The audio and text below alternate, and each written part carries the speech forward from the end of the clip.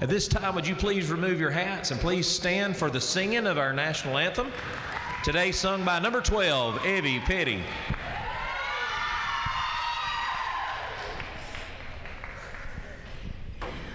Oh, say, can you see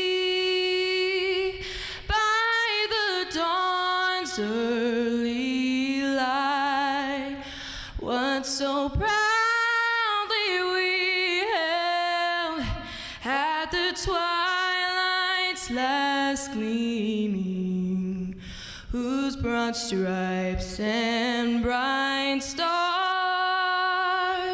through the perilous fight o'er the ramparts we watched were so gallantly